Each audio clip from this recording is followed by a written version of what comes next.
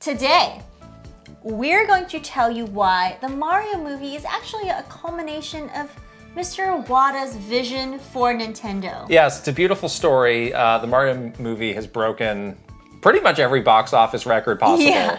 And it made us think back to um, the mid 2010s when Mr. Iwata Yeah. was talking very actively about audience expansion. Mm-hmm. And this is really, we've, we've done some stuff along the way. This is the culmination of that vision that he had. Exactly. And it's kind of funny to think about how long it took for Mr. Iwata's vision to finally come to fruition. Yeah. But it's really cool to see it come together in this way. And Mr. Iwata has always talked about Nintendo as not a gaming company, but an entertainment company. And that was really instilled in us when we worked at Nintendo. So, yeah, we're going to tell you all about that. It's going to be a, a, a really heartwarming That's right. uh, way to look back on on that and and what it is now.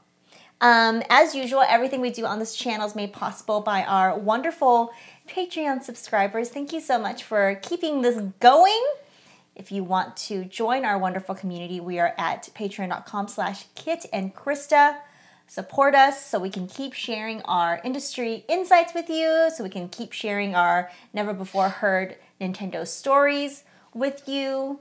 Yeah, it's a good time. If you've never done Patreon before, you're wondering what it's all about, good news. It's very easy to get your foot in the door. Yeah. We have, uh, you can get a free trial for a week on our most popular tier, which will get you early access to this here podcast and all sorts of other cool stuff.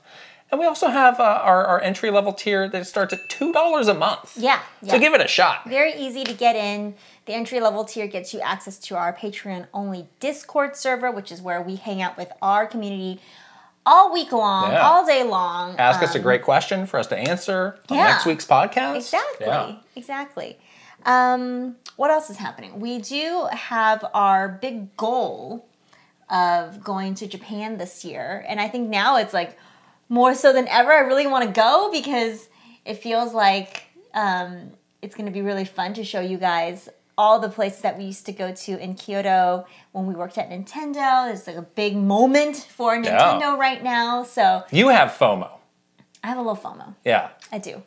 Well, if you have FOMO about us having FOMO, Support us. You can leave us uh, a super thanks on this video. That's something you can do directly in YouTube, or next time we're streaming, you can Yeah. leave us a super chat. And you have the beautiful uh, bar. Here is the bar, tracking the, our progress. the thermometer progress Right. that I really like. Thank you to everybody who left us uh, a super thanks last Yeah, week. We really appreciate that. you. And yeah, 100% of what we get from those Is going is to going the Japan to the trip. Japan Fund. Yes, Right. yes. Um, we can't wait to go and create all sorts of really cool, unique content for you guys. So that is going to be fun. Oh my goodness, how many Mario movie videos have we done thus far? As many as it takes. or not enough. I also want to make $300 million. Two hundred seventy-seven. However many million. I'm going to keep gonna- making these videos. Are you gonna break some box off box office? That's a different records? thermometer. Oh my! I got a ways to go. like. I got a ways to go.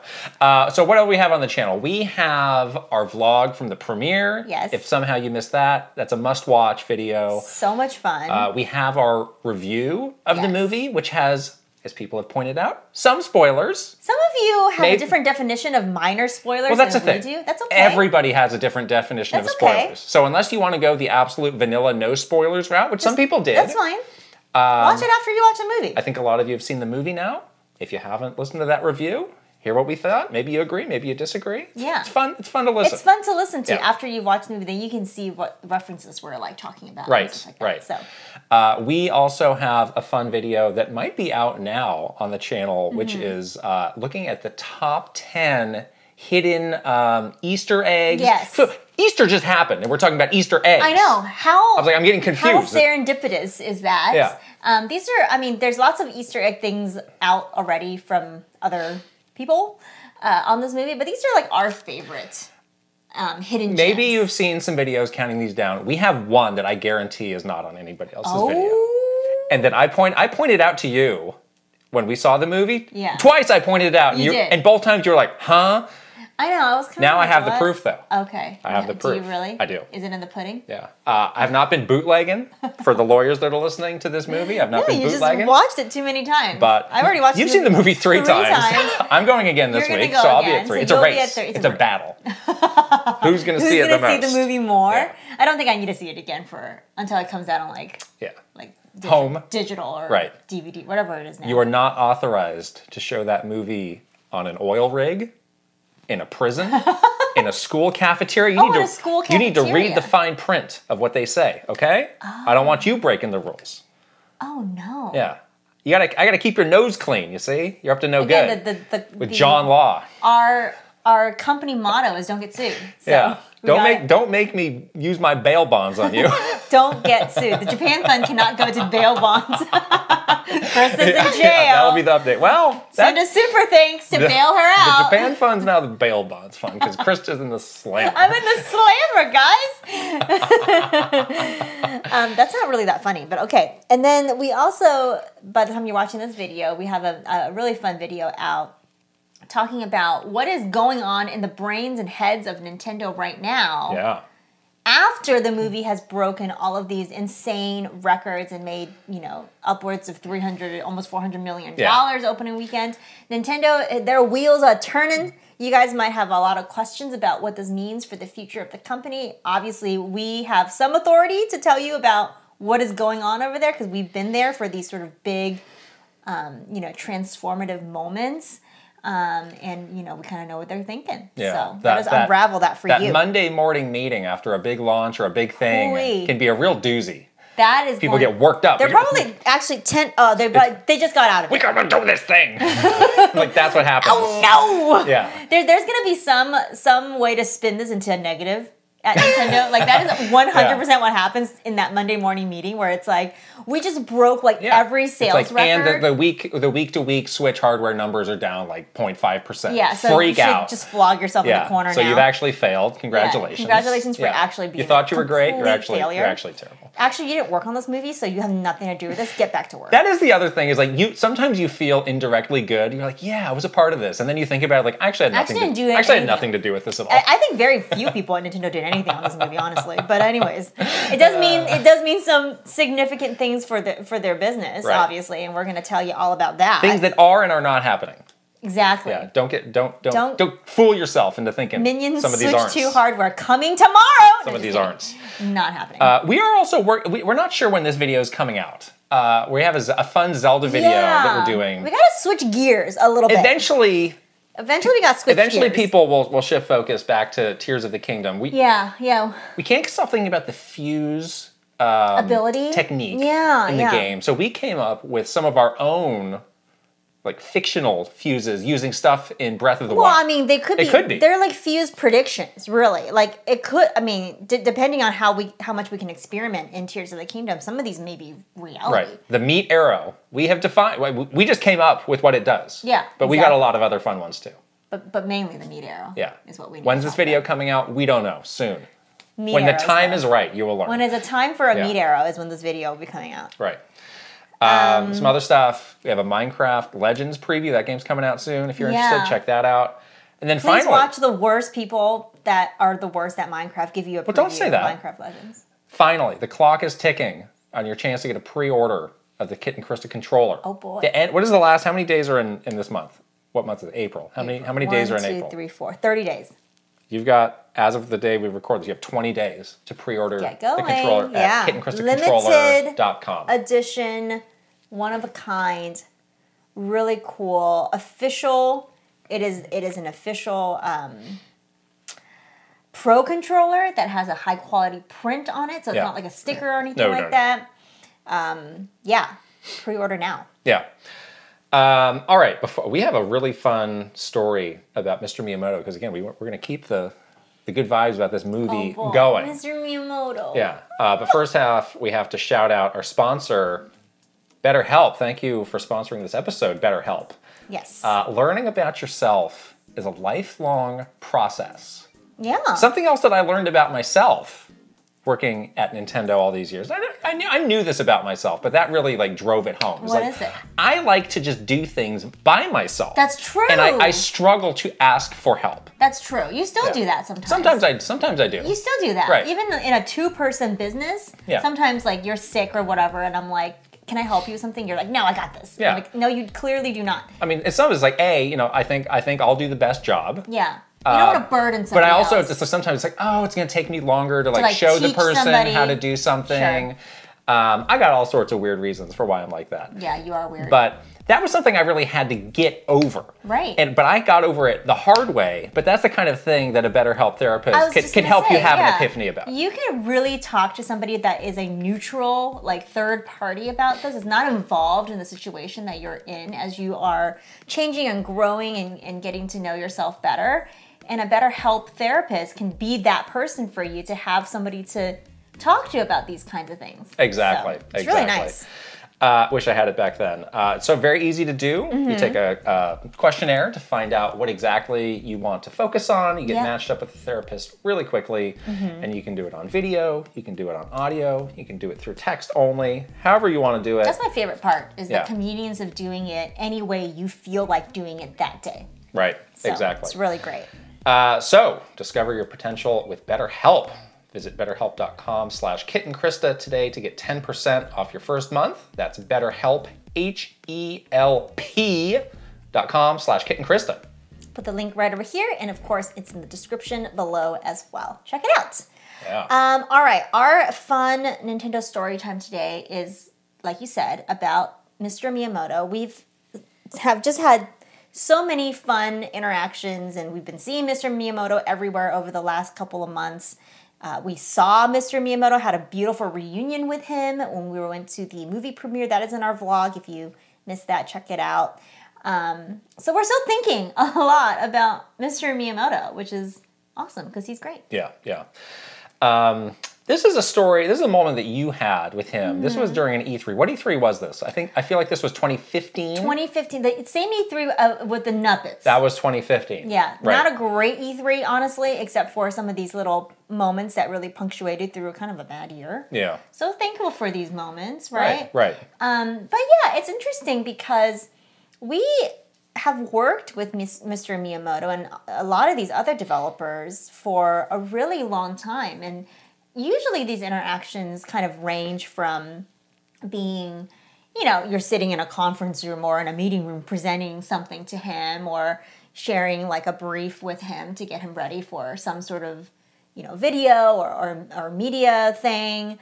And then you kind of swing way the other way and you sometimes get to do these really like random things with them that are like kind of like things that you just dream about that you do with somebody like Mr. Miyamoto where like yeah you get to like go share a meal with a man or like Yeah. you get to go somewhere with him I went to Jim Henson Studios which is kind of what preceded this incident with him where he was like he was like a, a kid and was just like in a sense of like wonderment as he talked to like the Jim Henson people Yeah.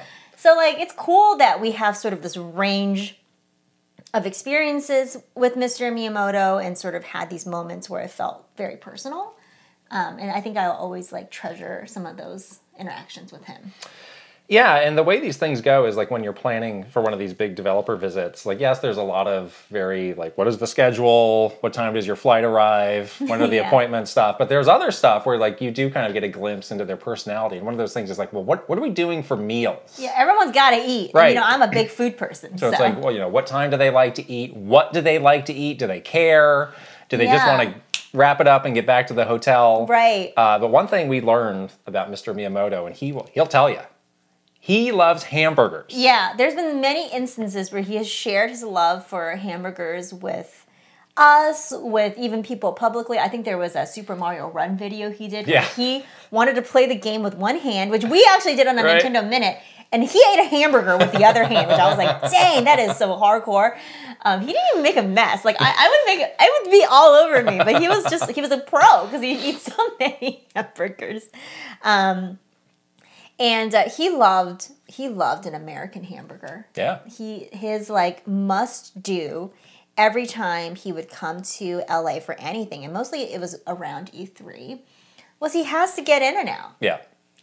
We're from California, so I got to tell you, In and Out is my favorite hamburger as well. There is a big debate. I know. about In and Out, versus um, what's the other place? Five Guys, No, Shake Shack. Shake Shack. Right. Yes. Well, back then Shake Shack was very East Coast only. Right now there's only- Shake Shack here, but I still don't like it. Only much. recently they have uh, branched out to the West Coast. But we're I'm like an In and Out purist. We're not We- talking about the In and Out In and Out fries. I know those are the most controversial things of all. We're the talking about burger the though. Burger's You're good. a you're In and Out purist I like it. too, right? Yeah. I, I don't. Yeah. I don't get the sauce, so I No, guess I'm not. no animal sauce for you. Well, just the sau- that sauce is mayonnaise, Oh yeah, So I it's don't get it. Thousand Island, so you can't have that. which is mayonnaise. There's a secret menu that we also order. Off Well, everybody anyways. knows it's not very secret anymore. Well, I have a very special. Anyhow, um, but don't come at us if you are not In and Out fans. I'm just, that was my Mr. point. Miyamoto's canceled for loving In and Out. I know. Oh no, never protect him at all costs. Um, protect him and his In and Out.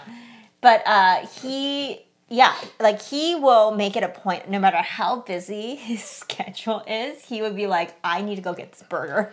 Um, so we need to like carve out time in the schedule to go get the burger. Right. So you went with him. Was this on the same trip to go to the Henson Studios Yeah. to see the Nuppets? You went to In and Out. Right. Tell us about this. Yeah, exactly. So we like escaped the bowels of the LACC, which was kind of nice. Um, Good place to get out, get away from. gotta honestly, get out of that Yeah. war room. You know, you know, like claustrophobic big in there. But there was a very like kind of like a strike team. I would say it was not very many people. Um, we took Mr. Miyamoto to visit Jim Henson Studios because that was the year of those Nuppets.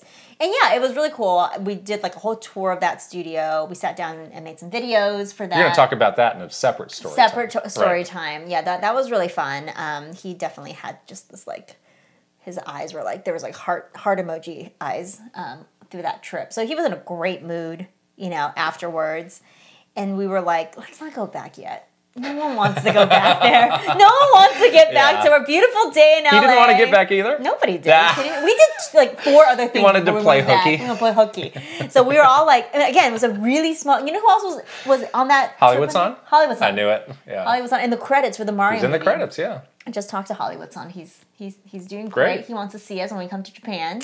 Wonderful. Dinners are dinners are being arranged Hey. with Hollywood Son. Anyways, um, so yeah, so we were like, you know where we can go for lunch? Um, let's go to In and Out.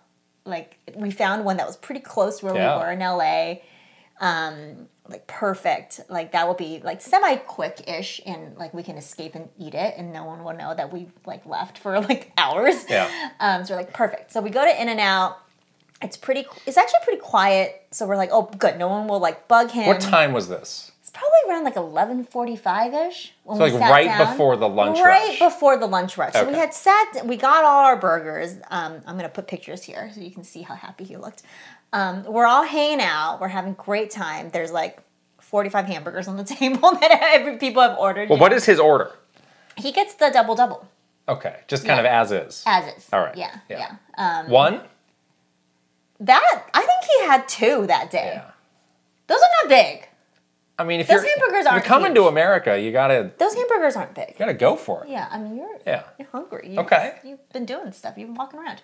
Drink, fries. Uh, definitely fries. Yeah. Um, just plain though, Right. with ketchup, not Yeah. like ketchup on the side. Yeah. Drink, cherry coke, I believe. Whoa. Okay. Either cherry coke or root beer. I can't remember now. You're not a soda person, so Well, you're you're. I want to get into the details here. Now it's, Okay. it's all falling apart for you. no, Okay, it's not. It's okay. not. I'm telling you.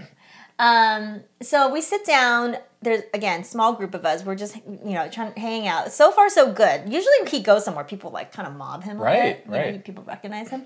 So he's doing really good, and um, he we're, we're just joking around. Everyone's having a great time eating the hamburgers, and then we hear this like school bell ring. So apparently there's a high school right next to that In and Out Oh. school they Oh, get no. out for lunch Yeah. and kids start rushing these high school kids start rushing into this in and Mm. out one kid turns around and was like is that shigeru miyamoto and we're like uh-oh we we had like enjoyed a good you know 30 minutes of quiet time in a public space which was very rare for him and and these kids were so sweet they were not like the terrible autograph hunters that Mm. i wanted to punch out um, at the movie premiere. They were like really polite, really Yeah. sweet. But yeah, they they were pulling their notebooks like out of their backpacks to get his autograph.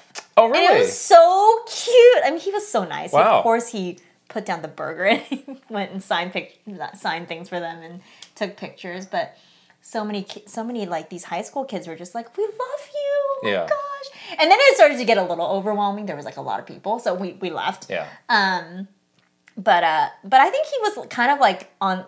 It's like that similar moment where you can just tell. You know, we kind of saw this at the premiere as well, where he's just like on cloud nine. He's feeling good. Yeah. You know, he, he's had a good day. He went to this place. You know, that he was really excited about going to, like Jim Henson, to see that um, was something that he wanted to do, and um, he genuinely had like fun that day and it was like he deserves to have like a little bit of fun when you're working like day and night Right, at E3 right. so it was really nice i think afterwards we also went to um, hollywood Son is famous for like finding the most bespoke like shishi coffee Yeah, shops yeah. ever anywhere Right. and of course he like found one we went and like got like fancy coffee afterwards and i think mr miyamoto even bought some coffee to take Oh back wow. um, some like Nice, beans yeah. or whatever. So it was like fun, and then we had to go back to Yeah. at the LACC. Did he get to finish his food? He did. He did. We, we were done. We were like we were just hanging out. We All were right. like eating fries and just Yeah, like chatting yeah. and stuff. He he is very gracious with like people who want an autograph. Yeah. Like there are some people who'd be like, no, I don't do that, or no, I'm- I'm Yeah, busy. I'm Like busy, he'll definitely yeah. do it, which is why it can be dicey in those situations where people are hounding him because he's just like, Well, those people are mean. I gotta do it. No, but I feel like he I feel like he would just do it. I know, If there was would. not that the people like saying like we gotta go. No. I feel so bad. And it's it's not like the- him. yeah, it's just him being genuinely hate- I hate wa- those people. wanting to do it. mad at them still. Um so Yeah. yeah. But those high school students were not like that at all. They were super polite. I mean, he they they just were like in awe of him and just like is that moment where you know when you used to read like that stuff in People magazine where it's like celebrities, they're just like us. Yeah. They do laundry and eat hamburgers and like whatever. It was like that moment for those high school kids. They were like, wow, like this like legend is just like Wow. sitting in a place where we have lunch. Right. You know. Um, during our lunch break from school, just like eating a hamburger Yeah. just like us. Like this is incredible. you That's know? cool that, that So so, many people recognized him. Oh, I mean, yeah, there's a chance yeah. nobody I mean different different people like different things. There's a chance none of those Yeah, kids knew about I think he liked it because they were like younger people Yeah. too. So he was like, "Oh, that's cool." You Right. know, like I'm, I'm, I'm cool. Like Yeah. taking some photos with these people. Um, the, the other funny thing that happened after that, that sort of in and out trip, I think they got wind of like. We can't we can't let him out Oh. anymore. So instead of like letting us go to In and Out for next E3s, they just brought the in- they had an In and Out food truck, Yeah. which actually this was pretty cool. They had an In and Out food truck that would come um, sort of to the back of Right. the LACC where Right. we would set up our booth and stuff, and you can get your hamburger there. But I think it's because they were like, wait a second, why did he leave for like six hours that day? Where'd he go? We can't can't let that happen again. We'll just bring the hamburgers to him so he can stay in the LACC. Well, now I'm getting hungry. Thanks for nothing. I don't want a two-hour podcast to go here before I In-N-Out can eat really something. bad. Yeah, Uh, whenever I whenever I see that in In and Out or whenever I have an In and Out, I, I always think about him. Yeah. Al- always. And then Yeah. you, you had like tweets that were going out of like here he is In and Out. I think I'm sure our legal team would have a conniption fit of like we're not we're not sponsoring In and Out, we're not know. condoning In and Out. You have just revealed his location. I know, Yeah. I know. We were we were like, this is like simpler time, 2015, simpler time, simpler time. Just could- tweet it. we could just do whatever. Like I was like taking photos. He was like hamming. I, these photos are he was like posing with his hamburger. It was hilarious. Um, yeah. Anyways, it was it was great, and that those are the moments you know with these developers that you think like I can't believe I'm sitting at an In and Out eating hamburgers and just shooting the breeze. Yeah, that's where you really get to know them and yeah. form a relationship. It's true. Yeah. Yeah, yeah. And so it's again, it, it just makes it feel really nice that we got to see him again and, and got and got to just tell him, you know, congratulations on such a huge accomplishment um, with the movie, and it feels nice to to know that like those relationships meant something, you know. Yeah. So. Fun- We love you, Mr. Miyamoto. You're the best. Funnily, I also took uh, a developer to In In and Out. It was Yuji Horii. Oh, he likes hamburgers too. That's true. I mean, you can get good hamburgers in Japan, but I think there's something MOS Burger? about the mystique of you know America and hamburgers. yeah. Um, nobody recognized him there. Oh, I don't. Yuji Horii is not a household name or face yet. Yeah. Yeah. Still time Still time. for our guy. Still time. Still Get out there with the slime, Dragon, Dragon Quest. What are we on? 12, 13? Whatever, whichever one's next. Way yeah. more than that. Dragon Quest. Isn't it? Aren't we up to like 16? You're thinking of Final Fantasy. No, I'm thinking of Dragon Quest. Let's move on right. before you step in it. All right, we are on to our Never a Minute segment. We have passed the first three months of the year, JFM. JFM as they say, Don't say that. we thought it would be nice to just look in, kind of do a, a quarter year look in at our game of the year. That's a year long How is it shaping thing. up? Yeah. How's it shaping up? Are there any games that have really stood out to us? Yes. Yeah. uh, any big gaps Mm-hmm. that we have.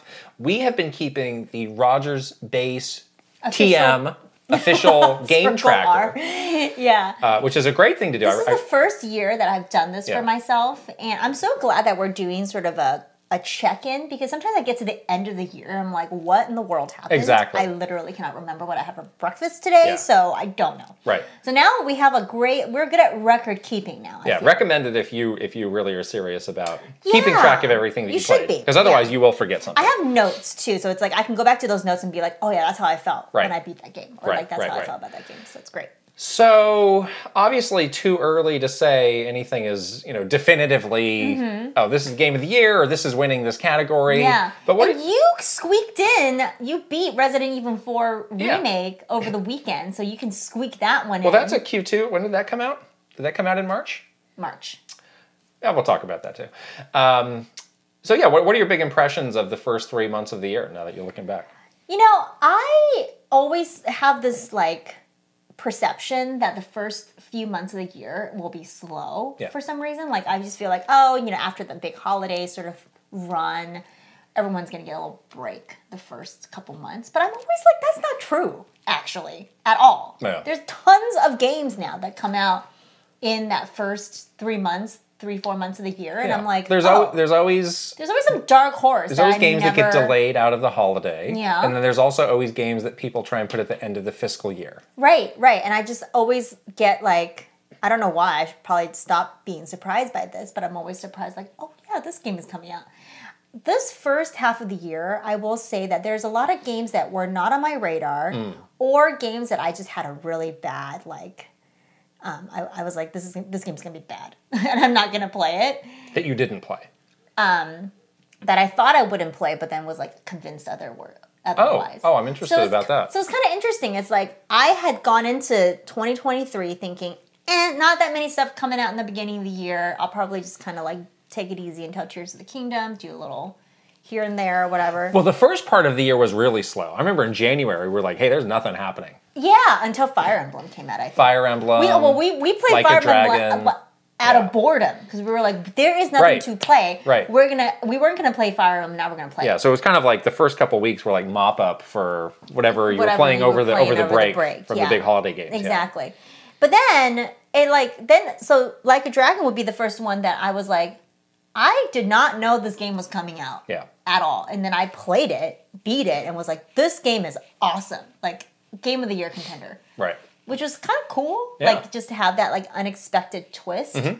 from like I love um the the Yakuza franchise, obviously, and I just not have this game on my radar. So Mm-hmm. now I'm like, wow, that's really that's really cool. You know, like that we had that fun surprise. Um, the other one for me that I think was just like I took an L on this for sure because I just did really thought this game was going to be terrible, which now is like one of my favorite games that I played this year is Hogwarts Legacy. Yeah. I beat that game as well. Like I just I went into it like when I saw the game being announced all through what they what they showed for that game, I was like this game is going to be terrible. 6 out of 10, like really bad. Um boy was I wrong about that. So um I'm so glad I was wrong because this game turned out to be just a such a cool experience for a fan of that universe and yeah, I loved it. Like I this is this is my current game of the year. So something Wow. needs to knock it off to I'm sure Tears of the Kingdom. Yeah. But um, something needs to knock that game out off the number one seat right now because I was like shocked by Yeah, how much yeah. I loved it. I would say for me, the three most memorable games have all been remakes. So you Oh, got wow. Like a Dragon is a remake, remember? True. It never came out Yeah. here, so it's it's Remakes I don't feel like remakes Sort of at new. all, which is kind of um, incredible. Metroid Prime, which I, I didn't finish that honestly, oh yes. and then Resident Evil Four. Those are all remakes. Yeah. um, wow. so what, that- a, what a year. That is such an interesting trend, and we've been talking about this in, in previous weeks of how does a remake factor into a game of the year conversation? Mm-hmm. I'm, I'm I'm over that. I think it absolutely can stand Deserves it, yeah. on its own, Yeah. um, especially when it's Doing new things. having a very light touch in and the game was so good to begin with and you're and Mm-hmm. you're delivering it to an entirely new audience so that's really the trend of these first couple of months for yeah. me Oh, interesting. i did play you know you know s- there's stuff like um, Blanc, which we played, I think that's a great looking game. That's a really unique game. Mm-hmm. Um, Hi-Fi Rush, that was a game that didn't really click with me, but I I try that game. but I think has a lot of merits. I think it looks great. I have a feeling that that will be on a lot of other people's game of the Yeah. year I think lists. so. Um, so that was a nice surprise. Um, I've also been tracking like some of the, the demos that I've played because Yeah. it's like, well, maybe I'll go back and I'll play the full game, but if not, I got kind of a feel for it. So like, for example, I'm probably never going to play Octopath Traveler 2. No. But I played but I played enough to know like, okay, this belongs in the best music category. Yeah. Easy. Okay. Yeah. That You, you get a taste of it. Right. Yeah. right, right. For versus just like, well, maybe it was cool, maybe it wasn't. It's like this is a very easy way for me to just get a taste Yeah. of these games. Do you feel like, and I feel like this a little bit, um, besides Blanc um, and Storyteller, I haven't played a lot of indie games this first yeah, quarter of the year. And usually I'm like very into sort of like dual wielding the games. Like I'll, I'll have like a big meaty right. game like Resident Evil 4 or, or Hogwarts Legacy or whatever that I'm playing. And then on the side I'm playing like Oh, a your little- like bedtime my game. little bedtime game. Yeah. And I haven't had as as many options, which was Yeah. I, I was when I was looking back, um, that was a little disappointing. Like I was like, oh, yeah, where, where are the where are the bedtime ga- where are the cozy games? That's a good point. Yeah, I think you're right. I think there have not been the just very steady rush of, of indie games. Yeah. Would you say But- Hi-Fi Rush is an indie game? No, right? Okay. No. Um, yeah, it feels like we're due for Yeah. for some big There hasn't been like a- drop of those, or, or like an indie direct, or, or, or just something. like an indie game that's broken out into like mainstream conversation. Like, like you sometimes there's like a Hades. That Well, that, yeah. that one is Yeah. a little bit more than just some indie games. Silk Song. Oh boy. Still time for Silk Song this year. Still, Still time. Shadow Drop. Shadow Drop. Where is that? Tomorrow? Um, Is there anything in Q1 that you feel like you really just missed? Of like, oh gosh, when when we look back at the story of 2023, I have this big hole with this game or this thing. I think it's going to be Bayonetta Origins for me because I think Oh. I think I mean, that, that game kind of has come and gone, and Well, the thing with that game is here's here's my problem with it, or my my my issue, is that Bayonetta has never been a franchise that's really connected with me in Yeah. any sort of significant way. Like I know there's such a core, passionate fan base for this game, but I just as much as I want to love it, I can't get Yeah. on board. Bayonetta Origins, from what I've seen and from what you've told me, because I know you played the demo, is I think my kind of game. Like that I kind think of it is like too. I think- I think like storybooky kind of like slower pace. Like that is like my favorite kind of genre almost. So I feel like I've missed the boat on that a little bit. Maybe I can get get a chunk of time where I can play it. I don't know when. I'm looking at this list of Q2 games you have in our document, and I'm like, getting well, just really play the demo. I know, but I don't have time right now. Demo's like two hours long. Resident Evil. I just need, I don't have time. Anyways, but I think that might be one that I may regret later if I don't get to All it. right. How Um, about you? I feel pretty You feel good? caught up. Again, in playing those demos helps because Yeah, 80 hours of Octopath Traveler 2 is a lot to ask. it's true. Uh, I, I, I mean, that's a game that I would love to play if I had the time. If you had 80 But I hours, just yeah. don't, and it, and, and it, Yeah. it would mean that I'm missing out on a lot of other games that I would Right, want that to play. you So it's just hard. Can't do it. Yeah. I did just get, and I, I don't know if this will make a huge difference or not, but I did just get codes for this last round of Playdate games that they put out. True too. I've been. They did do a big update on the Playdate where they added a game store and they have like a whole new wave of games that they did. Yeah, I need to get back on Um, with that. Those were pretty hit or miss with me, those games. But the ones that hit, like I did really like and I do still think about those. Yeah. So that is a really unique sort of game that you're not going to get anywhere else. Mm-hmm. Um, and now I have the Steam Deck, so I, I do have one game on the Steam Deck. I'm going to talk about it You in the- a lot of options. in the what we're playing. And that's what I've been doing still is like what are the games that are not on on Switch or any other platform Yeah. that I that I want that are on the Steam Deck. So that's that's an ongoing process Mm-hmm. for sure. Yeah, yeah. And then I, I just feel like moving into some of the next quarter games that we're Wha- might be excited about. The list is Well, getting Q2 is a- pretty long. Q2 and is going to be a, scary. it's a bloodbath.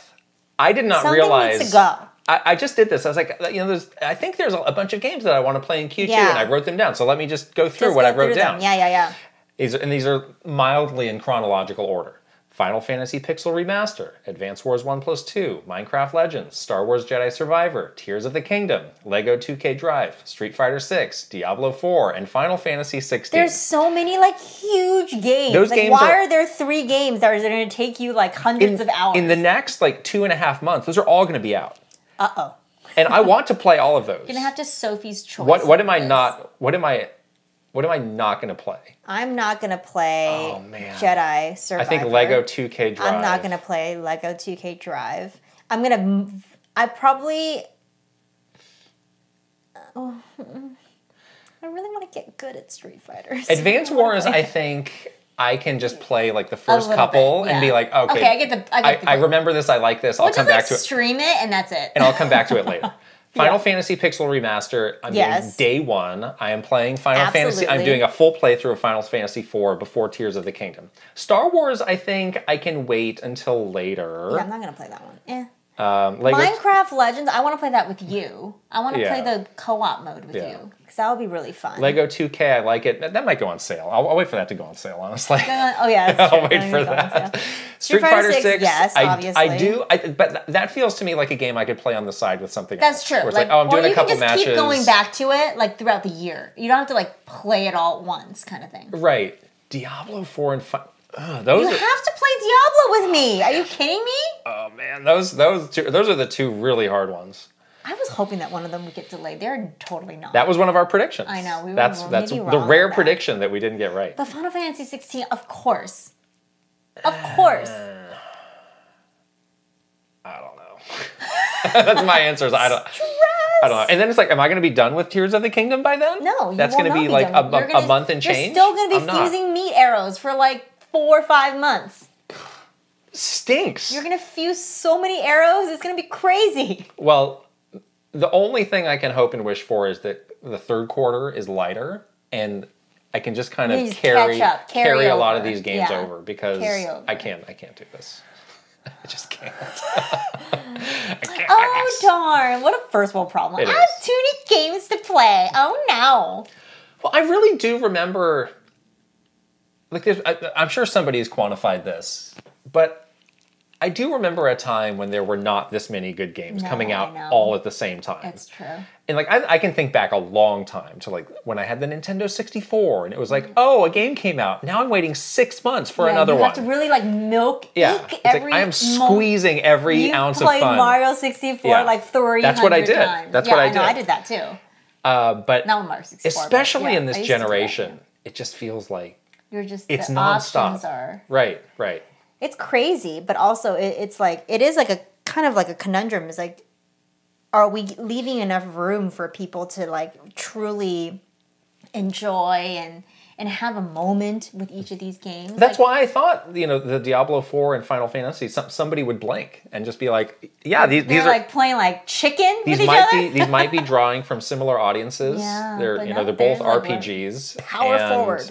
We might be losing players to that. I know. So let's pick a better time. Yeah. But no. It's it's rough because like you kind of it would be great if like we can all just play Tears of the Kingdom all together and then we can all have great, you know, hey, did you know conversations about it. Like I do kind of miss that a little bit. That's why I, it's fun when everyone like jumps on one game, like when we had like the Elden Ring phenomenon or like the Breath of the Wild phenomenon. Right. So it, it's harder and harder to have that kind of moment, though. So I do wonder what that means and, and how that kind of goes goes with your enjoyment and, and the longevity of, of these games. Like a lot of times, I think people just it's like a flash in the pan. You know, you play it and then you're like done. You're off to the next thing. Yeah. So Uh, well, fortunately, in Q1 we did get a, a strong GOTY contender in Like a Dragon Ishin. So you got to keep track of that too. That that's on the top. Knock that off the that's list. that's the someone- final word on the first quarter. That's true. Let's move on to the games we're playing. yeah, yeah, yeah. Uh, we got some different Oh, I, I wrapped up Final, or excuse me, Resident Evil Four last I, night. I'm doing pretty good too. I'm, you, I'm you've been powering through. What chapter are you on? I believe I'm on chapter 11. Okay, and there are fifteen. And then I what, or was it sixteen? 16. I kept telling you. I know. Every I kept you're giving you bad information. You're like, chapter 12 is the last chapter. And then there was like the next day, chapter 15 is the last chapter. And then the next day, chapter 16 No, is so I think it's sixteen I'm like, can you please stop telling me wrong things? Fake news. Those uh, 13, 14, and 15 Long. are pretty big, long Okay. chapters. Some of them, so, or most of them so far have felt very like short Yeah, to me. yeah, Like, they're, they're very fast. They tend to be like an hour yeah. or, or less. Or less. It's like, oh, Right. this chapter's over. So it really, mo- it really Okay. moves. The Great. pacing is good. The one-liners in this game, I really miss the early 2000s one-liners. Maybe this would be a great game for us to do uh, voice acting for. We I could, I could be totally Leon and you could be. Ashley. I would love to be be. Ashley Yeah. to your Leon. We Yeah. should do that. Um, yeah, some of the one-liners though, it's like such like a like you know those action movies we Right. used to watch back in those days. Like I kind of miss it. I know like it's hard to do that now. You don't get like canceled or whatever. It's like that's not a world we can live in now. You get canceled for saying "Hasta la vista"? I Like, don't what? know. It was like, oh, are What? you are you like It's not Duke Nukem or something. appropriating like the different? I don't know. There's people are sensitive. Okay, I don't. I'm not the one. Okay, I don't know. But it's like he has such great. It's like it's amazing. Yeah. Like I'm I'm laughing like the whole time. It's great. What I realized in the second half of this game is that I absolutely did Do not not, remember remember, anything. anything, that happened in the second half of this game. I think my memory starts to really fall apart after the lake part. That part I was Yeah. like, oh yeah, the thing in the lake. I remember that. I And then, like, remembered there was a pretty big change of scenery once you get out of the castle, and it's like you're in kind of like a more like industrial lab yes, type yes, thing. yes. The castle was a little familiar. Right. I'm like, but there oh, were a this lot of moments where I would do something in the remake and I would say, well, that's not what happened at all. And then you, They like, look completely back. changed it. And I went back and looked at a walkthrough of the GameCube. It- no, it, exactly it the pretty much exactly Yeah, the same. So is totally- Whoa, that's wild. like I don't remember this. Well, it's been like twenty. it's been a long time, Like, to what be fair. can you remember from twenty? yeah. And this is not a game ago? that I was like replaying year- Right, yearly. yeah, so I was, I was really relying on that 20 year old memory. Yeah, Uh, yeah. I, I, I do remember the first half of that game very well. Though. Yeah, that that first village That's very iconic, part yeah. with like the whole the blake thing, Right. and then that yeah, I remember that pretty clearly as well. Yeah. So none of that really like surprised me, but Yeah, yeah. Um, this game is pretty, pretty darn close to perfect, I would say. yeah, In a, and again, it's in a lot of ways that I think are very hard to put your finger on, and I think speaks to how they've had a challenge to recapture the magic of this game. Yeah. It's like, do you know how you did this? Did yeah, it is really hard because it's like it's a game that appeals to so many different people. I think is one of the- one of the really unique and fun things about it is like you and I are noted chickens. Like we are scared of everything, especially me. Um, and we don't typically like play these kinds of games. No. But I'm having the time of my life. Like it's scary, but in like the kind of a fun way and so it really like captures like that survivor horror adventure vibe like it balances that like perfectly i think Yeah. Mm-hmm. it's pretty hard to to do that with um with other with the other resident evil games i don't think they've really been able to nail yeah, that it's just a combination of all of the factors put together. yeah Um, and yeah, it's like, would, would I say I'm a Resident Evil fan? Absolutely not. no but this is just the game that where they hit on like Yeah. everything that works for me and apparently works for a lot of other people. Exactly. And so many other people really like love this. this game yeah Um, it's it's it's also the rare game that I've played, you know, well, well, well after the fact, where I'd actually like elevated in my mind. Because for after I played the GameCube version, I was like, oh, that's probably a top ten all time game for me. yeah But over the years, I thought, well, it's getting bumped by other stuff. It's Mm-hmm. like maybe it's in like the top twenty five now. yeah And remember, I did have, I did play the Switch version, which was a very straight port that they released. Oh, yeah. And I didn't play it for very long. I was kind of like in between games. I was like, oh, I'll just fire this up. And I kind of didn't love it. I was like, oh, this is getting a little, it's a little rough feeling a little clunky. Yeah. Um, not really working for me. But now that I've gone through this remake, it's like, oh, it's it's it's back in the top solidly in the top ten. yeah I need to write this top ten list down. we need to do this we need to do a whole segment Yeah. on this soon Yeah. of our re-shifted top 10 Our 2023 top ten list. because that's going to be different It's Uh, totally it's fine for your list to change. Exactly. You change as right, people. So right. your list So maybe doing it annually is the way to go. Yeah, and just see what things are being bumped for Yeah, other things. some 'Cause, I mean, things- things are going to come out that's going to like take take the place of other things. Right, right. Um, Yeah, I would say the other thing about this game that just makes it feel just I don't know, like really good is like all the characters are so well done. Like obviously Leon and, and Ashley and whatever are like great, but even like the Ramon. Okay. Ramon is good in his own. That I do I do that like little freak a little freak, a little What's his- freak in nature. What's his deal? Ramon. Um, but even like the enemies and all that stuff, like the way they do it is like, it's like you're scary. Like, yes, if I saw like some occult, like crazy person in a in a church speaking Spanish and like zombified, like that would scare me. But also it's like kind of funny. I don't know, like how do they Yeah. how are they doing that? Yeah. But like, it just feels, or like that like Rasputin guy. It's like this is actually pretty scary, but also like why are you Rasputin? This Mm-hmm. Yeah. is hilarious, Right. you know? So like the way that they balance those characters, like it's really good. Like I don't know how they they've done they've never done that again in another Resident Evil game. They're just terrifying. They're Yeah. terrible. Yeah. And I don't like them. One other like really small detail that I liked a lot in the in the remake specifically, and this is this is only going to be on PlayStation Five, is like the way they've used the triggers with the different guns. Oh my gosh. It's so good. Like you would think like oh like Call of Duty has like a satisfying way to shoot a gun or anything like that. But it's like this game has like the most satisfying. it's so sad. Like the way the when you switch to a shot from a or shotgun like to a sniping or like a rifle. Yeah, or rifle. Like you really have to like pull that trigger. it feels like so good. And Yeah. uh, there are moments where it's like a beating heart in your hands. yeah. I love that. Yeah, like yeah. that feels they really do some cool things with that dual sense controller. Like that is what that controller shines in that way for sure. Right, right. Um, so I, yeah, I don't, I don't, I don't really have too much more to say about it other than it's incredible. Okay. That's it. Yeah. I'm gonna beat it hopefully in the next couple of days. well, you're Why going. you So, so you're going on. You're you're you're doing this to yourself again. So you're going on a trip. You probably set some artificial deadline of I need to finish this game before I go on Can I this trip. remote play this game my, on my trip? Um, Probably. maybe. What is it? Do you have a pl- airplane game? See, this is my Bayonetta- my Bayonetta. Origins Maybe demo. maybe Do that's that. not. Oh yeah, Yeah. that's actually not a bad idea. I should probably just download You that. do that. Yeah. Yeah, because I do need an airplane game. I was gonna bring the Playdate, Okay. um, which is great for traveling. Yeah. It's so teeny. Um, but yeah, There you go. I don't think you're going to finish this game in whenever you're leaving. But good luck. you don't. you love to, to tell you love to tell yourself that you will. Uh, the other game that I played, this is this is the Steam Deck game that I was talking about, is a demo for a game that's not out yet called Tiny Thor. Oh, I guess this is coming out So soon. They said this quarter, and I think this is coming to a lot of other platforms as well. I think I think it's coming to Switch and maybe some others, but definitely definitely Steam Deck and Switch.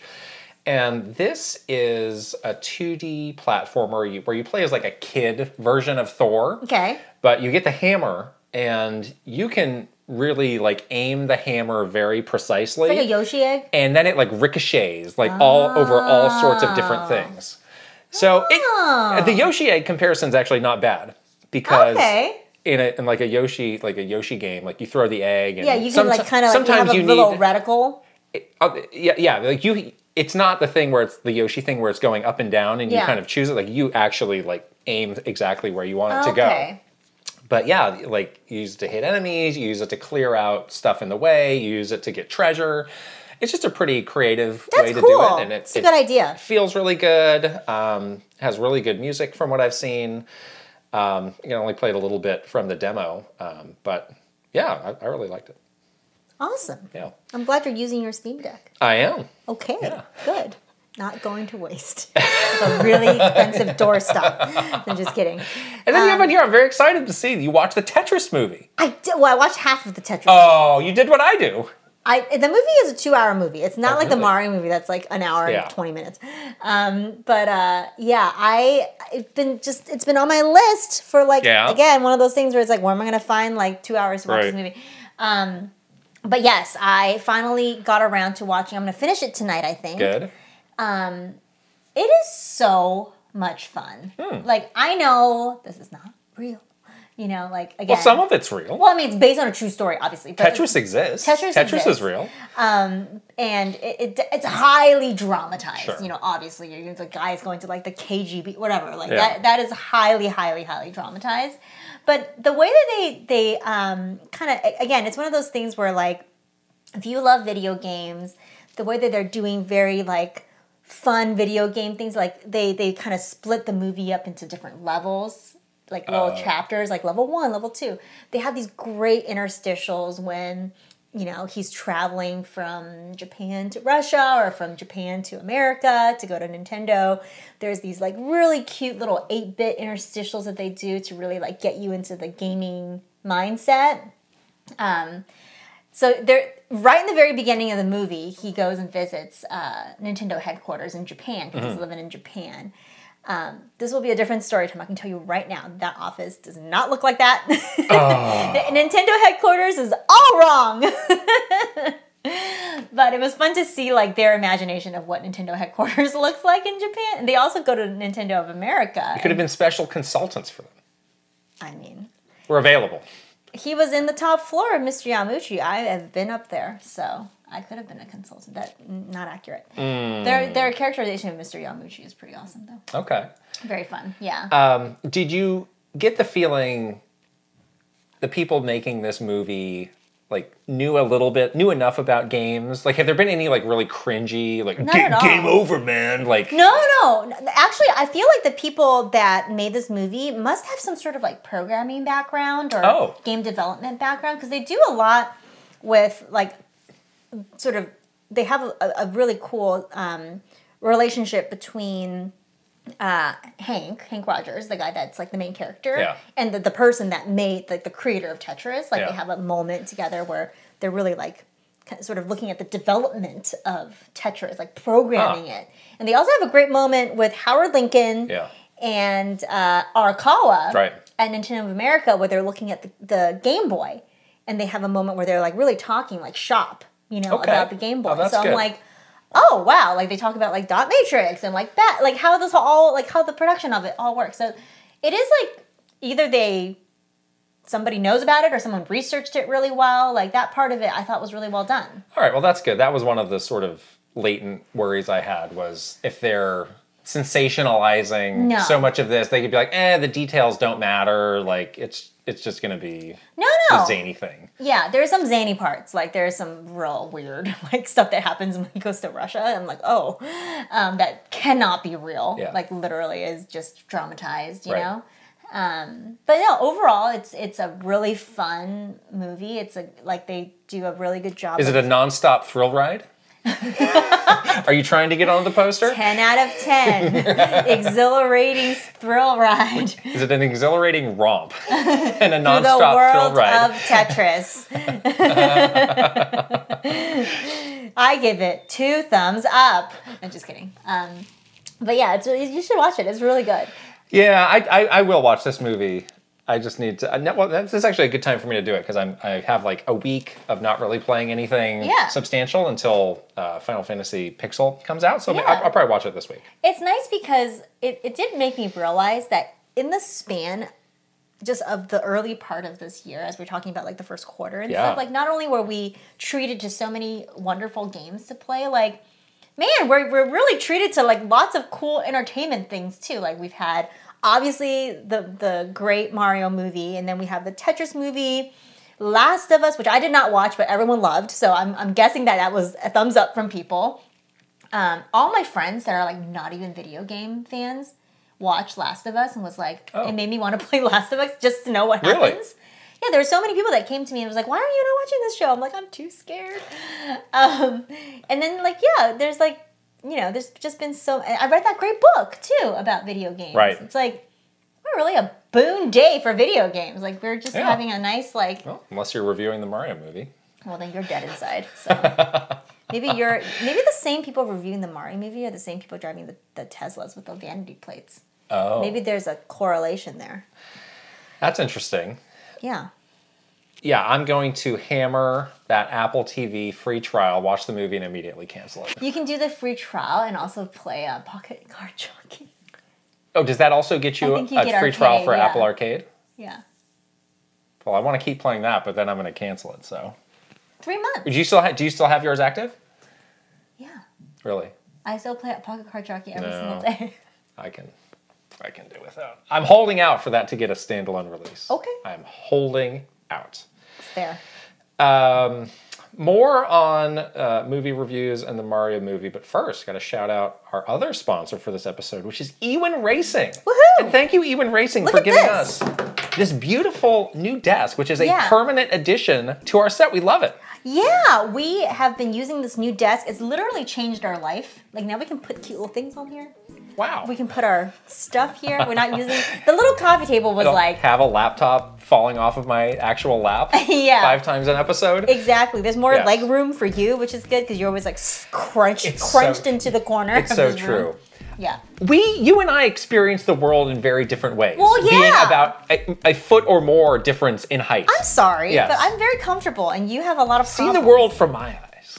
no up here. Why don't you see the world from my eyes? Anyhow, Ewin Racing has a wonderful variety of gaming chairs and desks. Mm-hmm. Yes. Uh, this desk in particular was very easy to put together. Very easy. I did it myself Yes, in you did. about 15 minutes. Yes. Uh, comes with all the tools uh, and stuff you need. You can't see it here, but along the sides, it also has. Yeah. these RGB lights that you can turn on. So really very There's like a control stylish. panel sort of right over there. Yeah, you can activate side. it from right there. Yep, there's little um, like places where you, if you set it up like a gaming desk, Yeah. you can do your cable management Right. Very easily. here, Exactly. which is I really like that. So- And all the Ewin Racing um, desks and chairs come in a variety of designs and sizes, so you can definitely find something that fits your taste. You. Yeah. Again, you've had your eye on the all pink I do want the all pink desk and chair Yes, set. Give it to me. Very nice. Yes. This the, the desk is made really well. Yeah. Um, the top of it is Sturdy. is really nice and it doesn't it's not getting scratched up or anything. Easy to clean. So so far we love it. And yeah, like you said, it's going to be a permanent um, part of our set. That's right. So we have a link in the description of this uh, video or podcast, uh, which you can click through and use code KK to get 20% off of your order. Yeah, we'll put it in the description below. Yeah. Awesome. All right. News time. News, news, news, which is all about Mario movie reviews. Yeah, we're going to start with a bunch of Mario movie stuff. So, yeah, let's start with the reviews. We're kind of going chronological order here. Yeah. So, before the movie came out, we know this because we were following the embargo. The embargo was the afternoon before the movie came Yeah. out. Yeah. Um, the, the actual critic reviews were, I think, not what anybody expected. Right. So, in that, like right away, they were in, if, if you're using Rotten Tomatoes, they were in like the mid 40%, which is not good. And, and, and a lot of people may not know how Rotten Tomatoes works. It's, either like not Metacritic. thumbs up or thumbs yeah, down. it's not Don't Metacritic. give it like a number. It's like- you just say like rotten or not rotten. Right. So, so it's the percentage, you know, fresh. So 50, Fresh, 50 or, you know, whatever percent of the people said this is a thumbs up, basically. yeah. So if you're Um, on the fence, I think as a critic, you would give it a thumbs down, which is I think what happened to this poor movie. Well, this is this is your outlook as a glass half empty person. I see in life. No, it isn't. I'm a glass half full. I'm a Well, if you're if you're in the middle, you might I might give it a thumbs up because I'm an optimist. So don't say that. Well, say that's that. not what happened here. don't say that Because it well, got people. did- 56%. I mean, if you read the reviews, these people hated this movie. Understand Hated, it. hated. They're dead inside. Is what my So as of now, it's 56, which is still. I guess you need to get over 60 percent to get the, the tomato and not the little splatted grain thing, which is strange. Uh, I don't know. I don't like. I don't like this. Give me Metacritic. audience score though, Yeah. 96. Audience score is at 96 percent, but Yeah. the, the the actual Rotten Tomatoes score is strange because if you compare it, like we we both were comparing it to other movies. Like, Yeah. well, well, well, what is the, like? We're not big movie review people. It's like, well, what does other stuff score? Yeah. So, first Sonic movie, 64. Mm. Sonic 2, 69. Detective Pikachu, 68. This Tetris movie you were watching, 81. That's really good. Yeah. The Minions, we looked at, well, what's Illumination's Illumination stuff. last movie, Yeah. Mm-hmm. Rise of Gru Minions, 70, not bad. Fast and Furious 9, popcorn junk, 60. Oh. And your favorite movie, Star Wars The Rise of Skywalker, the Disney magic on Star Wars, 52. 52. That one is pretty bad. I think that's quite charitable for that movie. uh, but yes, the audience score is at 96%. What, what, what do you think happened here? Well, I think that these critics are going in to this not understanding that they're going in to watch a Super Mario Brothers movie. Like let's let's set our expectations here, people. You're going in to watch a movie that's not going to be like you know, like Scorsese's next hit. Like you're not watching like uh, Pulp Fiction or whatever it is. You know, you're going to go in to watch a Super Mario Brothers movie. The expectation is that it's going to be fun. It's going to make you happy. It's going to showcase characters. Well, that nobody you- wants that. Everyone just wants to like wallow in the misery of the human of society Yes, forever. We want that. Great. That's not art. Fun? Are you joking? It makes me so mad, honestly. I'm just like, When you gave this game a nine or this, this movie a 9.5? nine and a half? Yeah. I, I just don't understand why a movie being lighthearted, fun, just like every time I've seen this movie, and I've seen it three times, people have come out of this theater with a giant smile. Everyone has come out of this theater with a giant smile on their face. Yeah. Everyone has.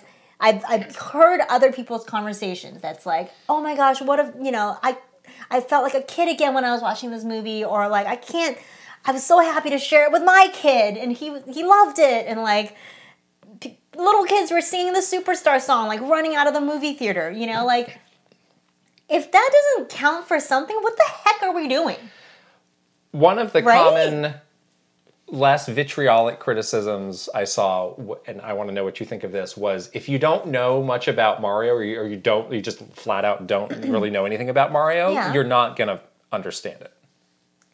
i mean the story is pretty simple so even if you don't know much about mario you might not understand it but i think that that was what where a lot of other reviewers like really came down hard on this movie is like the story is too simplistic it doesn't have a lot of depth it feels empty and hollow it's just like fan service with easter eggs i suppose if you have no prior relationship with nintendo or mario at all you might not have those moments of joy that you and i or a nintendo fan would have looking spotting all these Easter eggs and seeing your favorite characters portrayed in, in a fun way. So sure, maybe that's the case. But even so, you're going into a movie where there's like jokes that are pretty universal. There are there's a storyline that's pretty easy to follow. Like, what's the deal? What's the problem? I, I really didn't get the criticism of it just being of there being too many references Mm-hmm. because you've got you know 30 whatever years of material Right. that this is based on Yeah.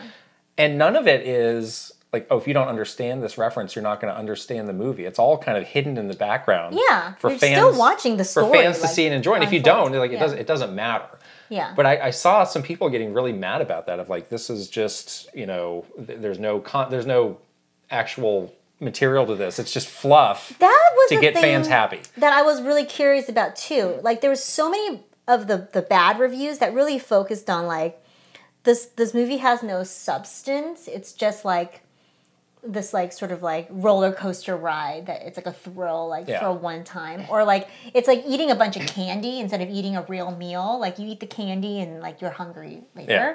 but it's like but don't you have fun when you're on the roller coaster? Don't you have fun when you're eating the candy? Right. like couldn't you just see it as that experience? Like no it's not like godfather where it's like a steak dinner, you know, but it's like, yes, it is like, you know, fun and it's like fun in the moment. So it's kind of sad that critics can't like com- compartmentalize Yeah, it like that, yeah. I guess. For me, like that's what I'm do- what I'm doing. Like that's why I think this movie's good. So you gave it a nine and a half. I gave it a nine. Yeah. I to be clear, like I'm not expecting. I'm like, why why isn't the average review a nine? Like I I can see why people might want to drop it lower, but but some of those reviews seem to be gleefully mean about There's it. somebody gave it like a 23 or something like that percent that I saw and like the review Yeah. itself was like pure gibberish. really harsh. Really and it was really like harsh. a, a, it was like the San Francisco Chronicle, which I'm mad at because I live in San Francisco and you cannot give it a 23. I will come after you. So the, the, so the thing that happened that I said would happen happened. I went to go see my mom yesterday, and she she oh, waved no! she waved the newspaper at me. Said, "Look, they wrote about the Mario movie in in the Chronicle." And it was that that Chronicle guy Well, was bad. This was not so. This paper was weird. I looked at it, and it was about this was a full page article, and they were oh, like, not the review. No, they said there have not been a lot of Mario movies. There hasn't been one since the 90s. Yeah. Here are several fan made movies that you might enjoy. I was like, oh, the Chronicle's going to get sued by Nintendo. Oh no, they're gonna get ninjaed. The Chronicle. what a though, weird article. But yeah, she was waving it in my face. That guy gave it a 23. Who is he? Well, who cares? I mean, I really got the feeling that a lot of these people had not been exposed to video games or Mario or Nintendo. Like Have they not been since they exposed saw to any kind of fun ever? since they saw it in a Sears catalog in 1988, what happened like to that was you it. as a child? and they were just like, "Nope, I hate this." Never again, and they just like haven't had to think about it or be exposed to it, which Who is has hurt you? which is interesting. reviewers. and yeah, I, I just found some of the reviews to be to really go out of their way to be mean spirited. Yeah. Uh, but guess what? It doesn't matter because the movie made, Made- bank, yeah, made and there was it's so so much money. it's so interesting to see the video game community like try and follow along with the movie industry, which we don't know anything about. We cannot to be follow. extremely clear. Yeah. because like, why is there a new projection coming out literally every thirty minutes? I know. And everyone's like, "Yay, it did the thing!" And then, oh, it's it happened again. Like, what, what's going on now? I know. It's like up and down, and it's like, oh wait, this is not the right. This is not the real number. And this I really, is a. I really don't get how they can project the day without the day happening. Well, they looked at the day before, Because right? like Sunday morning, they were like, "Well, it's broken the weekend records." Like, well, Sunday hasn't happened. Well, just, it's just going to keep going up though. If But how do you know? broke- if you already broke, They had a go down. They had a very specific number. I mean, I guess you could pre, I mean, you oh, pre-buy pre- tickets, pre-buy. but I mean, not everybody. You don't have to do that. You can walk up and it's buy a crazy. ticket. It's I crazy don't understand that, that. the, the the you know best. Some of these stats are like insane. Like best Right. ever global launch for an animated movie. Right. So, so let's go through some of Best these. five day launch ever. The five day opening, it made 377 million worldwide. Mm. 205 million of those were domestic, Domestic, in the yeah. United States. My projection was 125. Mine Yours was was 115. 115. So Blew it out of the water. I, I mean, but, but those were very aggressive projections when we I made know. them. I Like, know. Some people were saying like you're crazy. oh, some people are like, oh, it's gonna be like 65 Right. at most. I'm like, okay. So that makes it the best ever global launch for an animated movie, beating Frozen 2. yeah. What happened to Frozen? Well, Frozen is a huge franchise. So Frozen 2 was a fantastic movie. And I think because you already have the existing fan base of Frozen 1, the expectation is that Frozen 2 is going to do Gamebusters, which it did. Yeah. That beat this. This is movie 1. Can you Right. imagine movie 2? Jeez. Um, and the other little factoid was this was the best ever five day launch. I mean, it, it was unusual for it to launch on a Wednesday. Yeah. It was good. it was good smart. timing because Easter weekend. It was. Easter weekend. People are out. Like you were saying, it's like spring break. There were all these mm. kids and your in your So many showing. kids. Yeah, perfect. I, So I went to a Saturday afternoon showing and it was like packed full of families. Yeah. So good good job by. Universal Yeah. to put it in the right place. Really, really smart.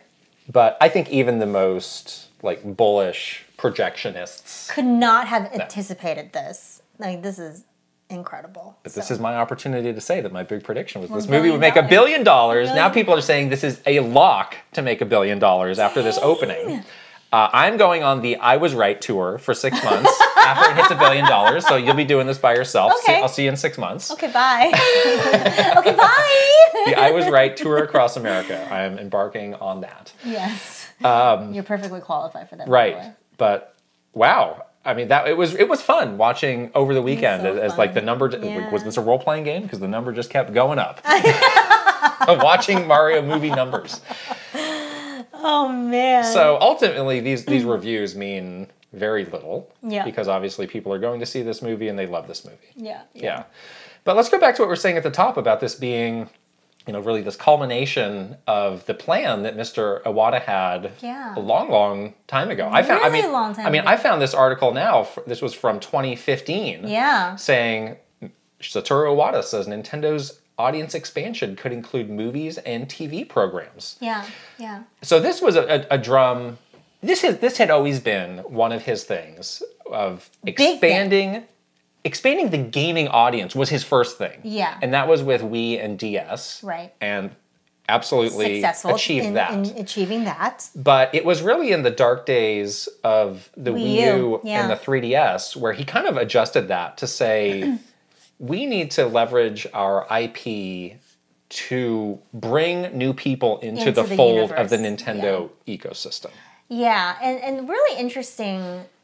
I think as we were, you know, soaking in all of Mr. Iwata's philosophies and strategies and all that stuff, um, he was very, very much a great leader in that way, where he shared his vision truly with with everyone, and all of us were like totally on board with this.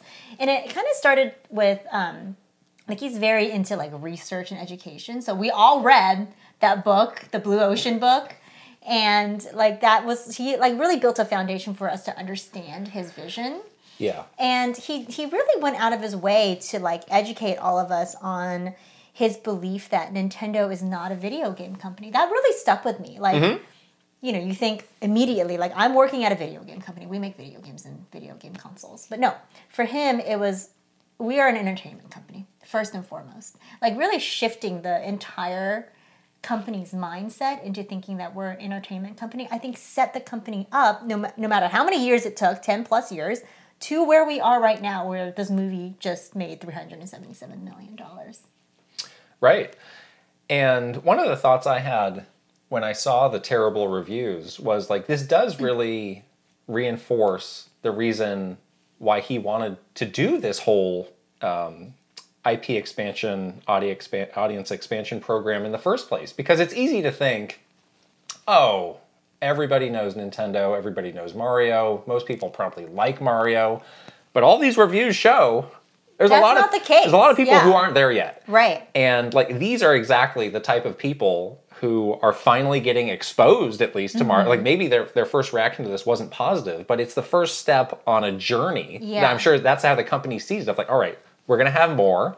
More things are going to happen. There are going to Yeah. be more ways that they're going to get exposed to this, and eventually we'll win them over. Right, right. And that's the whole that was the whole business model too. Like is how do we expose people? It doesn't have to be a movie. Obviously, this is one way. Obviously, it's a great way.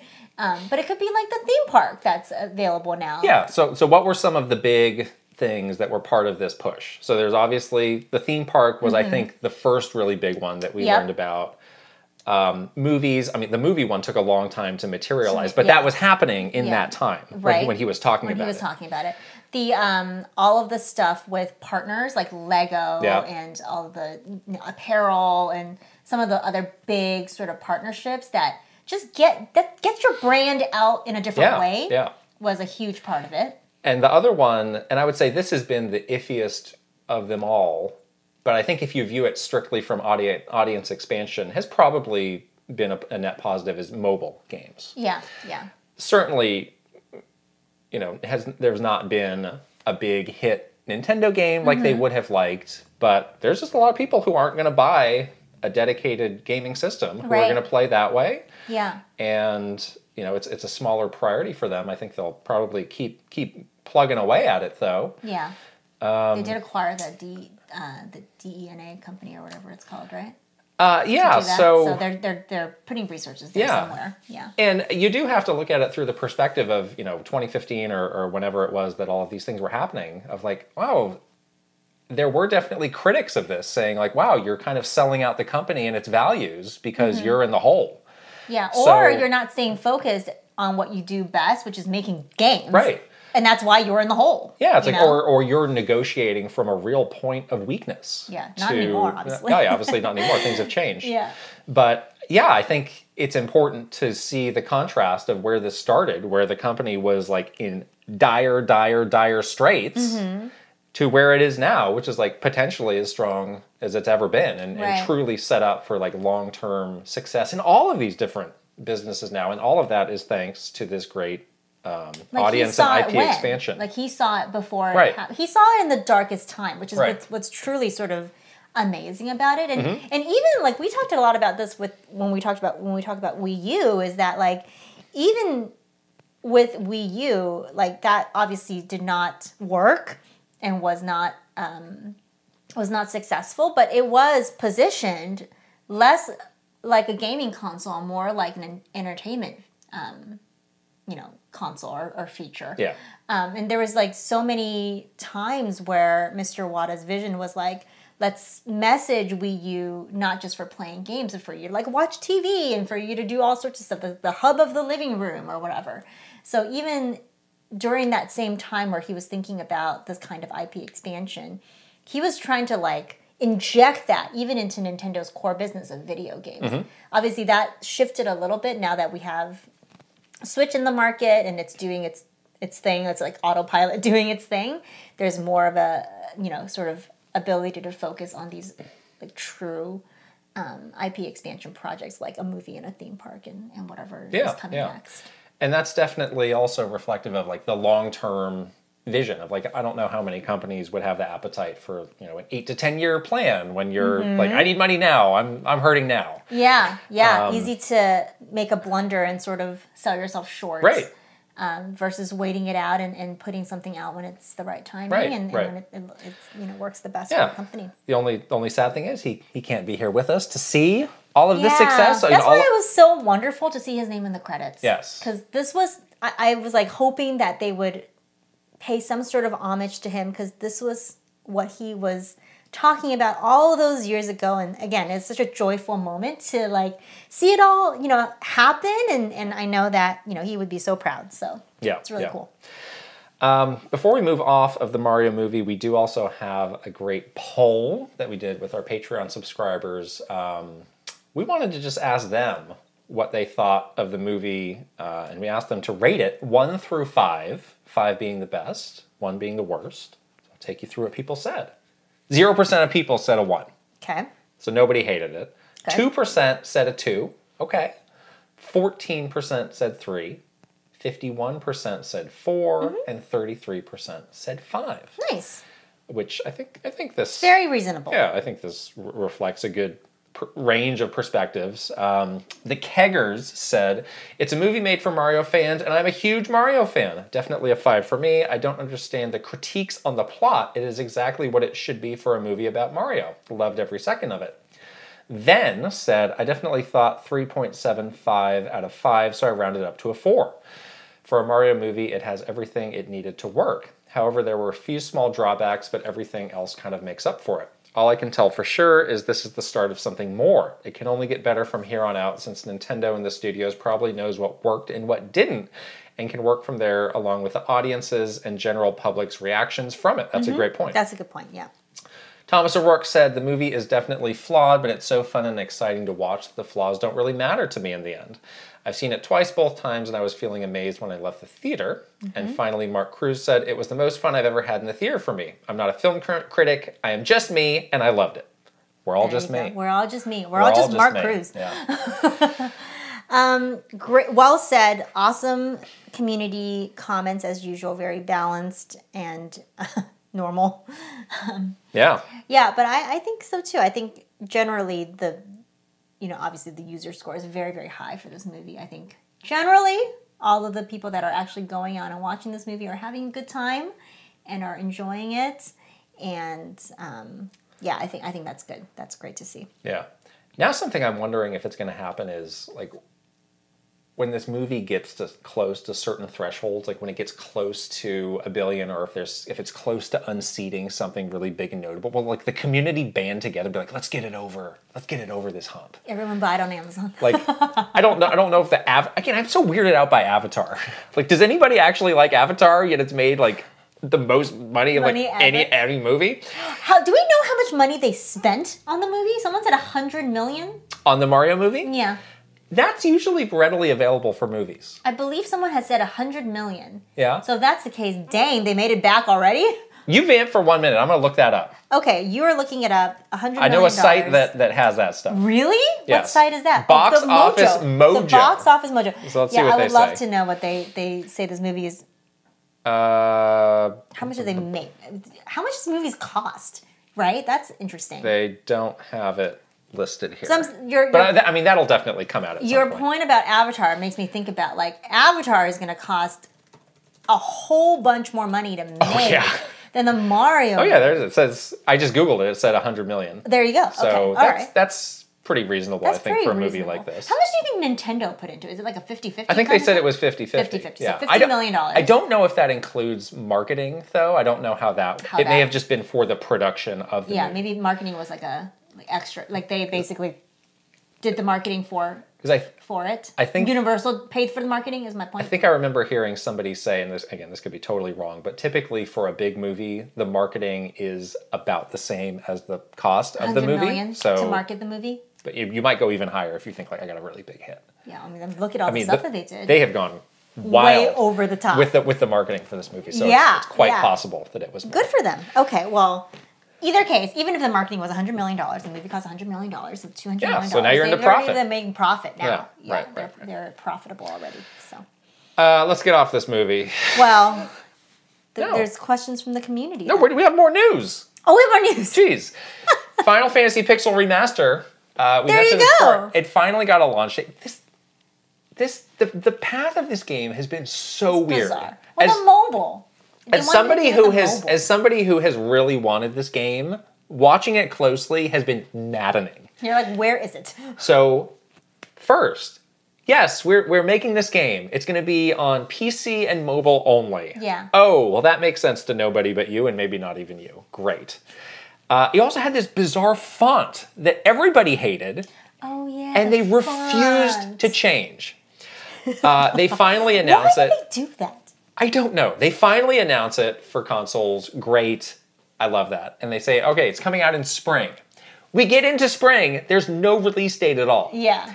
And but they're also doing weird stuff. They're like charging people. Oh, it's like, oh yeah, they also put up like the physical version on sale at like 12:30 in the middle of the night one Oh, day. yeah. And just like sells out while people are like asleep. Super weird. Okay. And it's like, oh yeah, we're, we're charging people's credit cards, but there's no release date. Finally, we get the date. It's April 19th, super soon. They are putting in a new font, thank goodness. but just like I just have to recognize like this has been the weirdest path for a Yeah. game Who's in a long of time. this? I don't know. Why is it? It so didn't have to be this way. It didn't have to be this way. You didn't have to make it so confusing. So who's calling the shots here? Huh? Very I, ju- I just can't. I ju- But at least it's coming now. Yes. You have a date, and there's a new font. There Yes, you go. that- it all ended well, but the convoluted path it took to get here was very. Then- but now they're also promoting like a super specific time where like it goes live. Normally it's just like, oh, it's just coming out on this day. Now they're like, oh, it's 3 p.m. whatever. what? Fine. I will again. I'm getting it the moment it, Yeah. it goes live, but it's been weird. Yeah.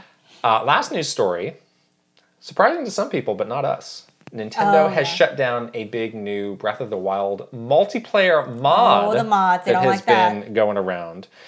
So this guy, uh, PointCrow, put out this mod um, in early April. Basically, turns Breath of the Wild into uh, a multiplayer game. Mm-hmm. People seem to like this. People seem to say it was cool. Yeah. But surprise, surprise, uh, a few days later, he got got hit with the copyright claims on all of his videos and stuff.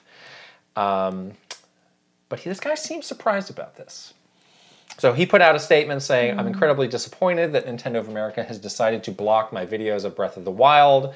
It's the love for the community and the innovation that we bring to it that has kept it alive and brought new people. That's gibberish. I hope you reverse your decision soon. Um, no, they won't be. Then he said, uh, a few days later, he says, as of now, the videos are still visible for you to watch. However, they are not monetized. Hopefully, Nintendo releases these claims as I significantly transform their work and my videos are under fair use. No, That That's just going to make them even madder. they're gonna be so mad at you. Oh my gosh. I, d- I don't think you have a legal ground to stand on saying I transformed your copywritten work. Material. And so now I can unfortunately, so now I can do it. I don't think that works. Yeah, I, I mean, I, I, I can understand, like, he definitely, you know, has the intention of, like, I don't think it comes from, like, a malicious place, obviously. Right. He's, like, doing it because he loves Zelda. He's doing it because he wants to keep the game alive and have more people play it, or, you know, it's something that's interesting to him, obviously. So it's not like he's, like, rubbing his hands evilly in the corner, like, I want to do But I'm consistently thing, but- surprised at the people who make who do these mods or make these fan games. And then when it gets taken down like a week, they're like, "What? What I, I can't believe this. Yeah. What's going on?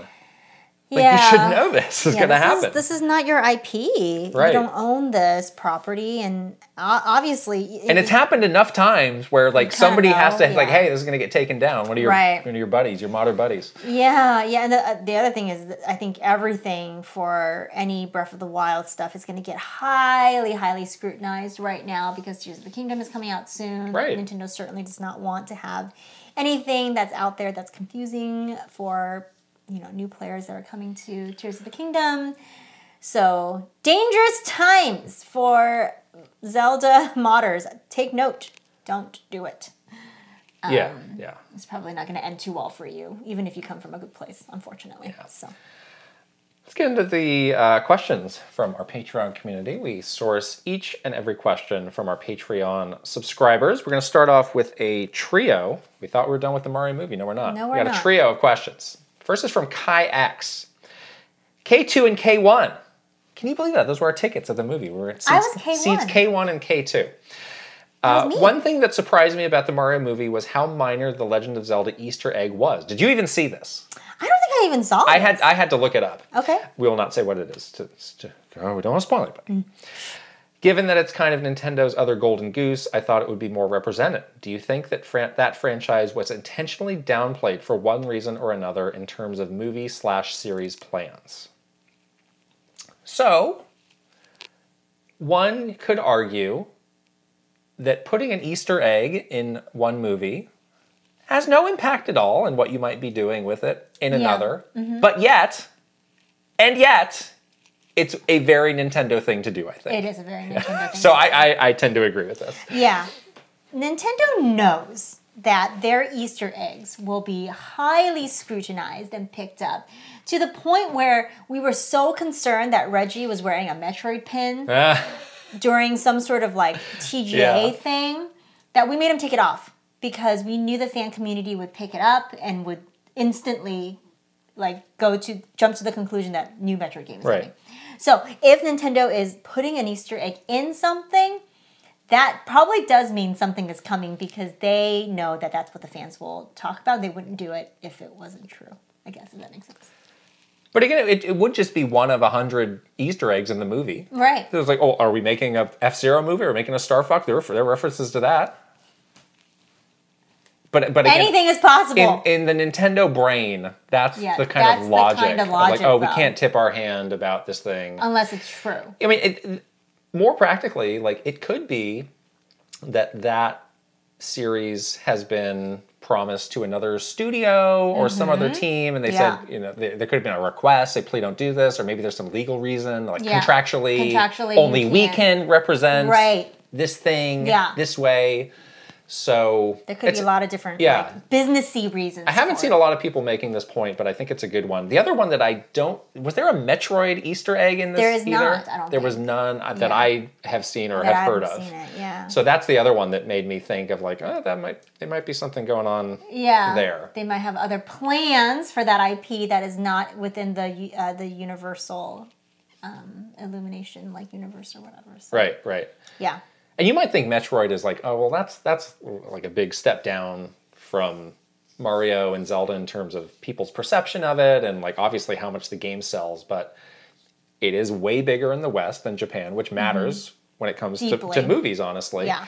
It's also a, a- like a series that a lot of big name like people in movies always talk Always about. like, talk oh, I want to do this. Yeah. Like Brie larson Larson's like, oh, I'd, lo- I'd love to play Samus, or all these directors like, oh, I'd love to I'd make a, love to I'd love to make make a Metroid Metroid movie. movie, So yeah. I do wonder if they had been really courted now that the gates are open Yeah. to like let's let's I do also this. think Nintendo does see Metroid as a huge potential. Like Yeah. whenever we would market a Metroid game, it was always like treat this as a AAA title that Yeah, it is. yeah. Treat it like a Mario game.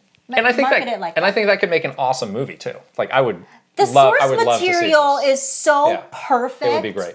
for a movie or a TV show or whatever because it's like all there for you. The, Yeah. You don't have to like reinvent the wheel on this one. Just write, just like write the movie. Like Yeah. it's so easy. Yeah. The question is from Riven, and Riven has included a link here to this interview with uh, Mr. Miyamoto and, and fake Steve Ballmer um, with Variety. The question is Have you seen this interview with Miyamoto? In it, he talks about how Princess Peach was always supposed to be more of her own strong character. What do you think about this? How much truth do you think there is in that statement in particular? Are there any other bits of the interview that really stand out to you? I had I got the sense that, and this is definitely from when we worked on like um, Odyssey, that the Japanese perception of a strong character and maybe in the West, in the U.S., our perception of a strong character is very different. That just might be a cultural. Yeah, I'm, I'm thing. chalking this up to cultural differences. I think it's cultural differences Right. because we would have these like really deep conversations about that whole like force into marriage trope for the Odyssey game. And we bring up things that we were like, this is a major concern. Like we need to, you know, do a lot of work to message around this or we need to have some sort of some sort of explanation for why this is happening in seventeen or whatever. It was. Yeah.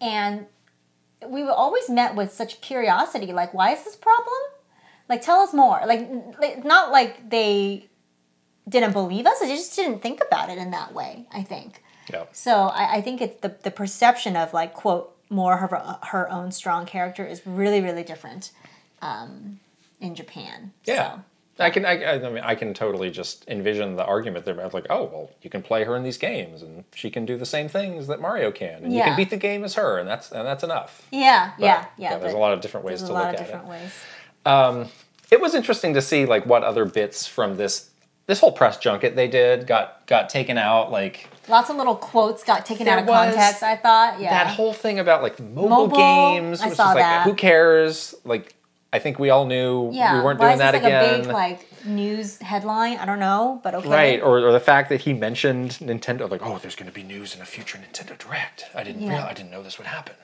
what do they put in Nintendo Direct? Yeah. So, yeah. Interesting stuff. Uh, Vezvez has the next question. Thank you for the pronunciation guide. Hi, Kate and Krysta. With the Mario movie out and digging its adorable cat Mario claws into the world, I'm curious what you think about if or how the movie might affect the Mario franchise going forward. Do you think they will get more adventurous with game content? I was thinking about this specifically after how Peach was portrayed. It was so great to see her take charge.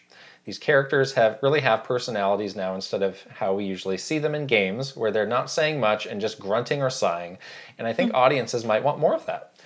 Do you think this major step into a different entertainment medium will push them forward with exploring this more in games, or do you think they will keep them more separated? What would you personally like to see them do? Thanks. Mario the movie, the game? Mario the movie, the game. Are you still holding out hope for this? Um, I want. Are you? I'm, I- I'm honestly asking. I don't think it's gonna happen. Oh. My hope is dwindling fast. If if if if it is happening, hopefully it will be this holiday. But I don't know. I don't think it's gonna happen. Yeah, we talked about this a, li- a little bit. Um, I really don't see, and it's kind of a missed opportunity from from my point of view. But this is not a Nintendo. Nintendo doesn't do this. Like they they just want the game, um, the gameplay to speak for itself more so than the story. They do this for, for all their games, even in like a game like Zelda, where like we were like, give us more story. They're like, no, just play this game, fuse this log and fuse this meat arrow and have fun. You know, they really are focused more on the gameplay part of it versus the story part of it. And I don't think that um, is going to change at all. I don't think they're going to like radically shift a Mario game into more of like a story driven, character development driven kind of kind of franchise. So Yeah, I think this is, this is a good point, and I've I've seen a fair number of people making this point. I think this is a case where maybe the fans' thinking is a little bit ahead of where Nintendo is. Yeah. because you're right, and, and we we talk about this in the video of like Yeah. what comes next for Nintendo after the movie made all this money, which is. Yeah, we partnered with Illumination and Universal to make a movie because they know how to make a movie. We know how to make games, so leave that to us and we'll keep them separate. right, But I do think the next time a Mario game comes out, and if it is really just kind of the same Mario formula, I think there are going to be pockets of criticism of Yeah. like you have not really learned anything from this, right, and you've not really evolved this franchise based Mm-hmm. on this huge hit movie that you had. So I think Yeah. it might actually be a couple iterations of games into the future Mm-hmm. where they might might they, they may they may never they may really resist it where they might start to think a little bit differently and reflect things yeah, in a new way. I think they're going to resist it. right. I think the probably the the easiest way to pay this off, um, pay off the movie, is they probably will just even go less on any sort of story. They will like flip entirely the other way, where they'll just focus even more on gameplay. Um, maybe it just means Peach is playable. You know, forever she's a playable character, so that there's never a, a time again where she's kidnapped and forced Right. into marriage. But I don't think you know from a like a character development standpoint that's going to be a big focus for them in the games. Yeah. I mean it's been a long time now since we've had a new Mario game. Where is our 2D Mario game? So what that means is like whatever they've been they, they're always working on a Mario game is Yeah. th- that had to have been happening around the same time the movie was being made. So it's not like they didn't have access to that Right. stuff or didn't know. Yeah. So it'll be really interesting to see. I still think there's some kind of Mario game coming out this holiday. Like there's gotta be. There's gotta be. Where is Yeah. it? I guess yeah. I mean, if we find out around what would have been E3. E3 time, Yeah, June. yeah, that's that's probably It could have. It could be. I would. What I would love for them to do, um, and I think that would kind of fit well with the movie, is a Mario and Luigi RPG all right. because that would like help kind of solidify the Mario and Luigi relationship, which is very forward. And those those games do have a bit more story to it, so that could be kind of cool. But we'll see. All right. We'll see. We're off of the Mario movie again. We're we're off. We're off. We're off. This is this is the fun uh, double up question here. I like I these. these. Prince Charmless has part one. Hello, Kit and Krysta. Imagine waking up one morning and you realized YouTube had gone poof, Uh oh. disappeared and out of existence. What alternative video sharing website would you use? Is there going to be a replacement? Is this going to be the end of social media? And then Riven adds on to add to the above. If Twitter collapses into the void, do you have a different social media in mind you would use as a replacement? As the head of social for the Kit and Krysta Oh, no. Empire, what is your thoughts?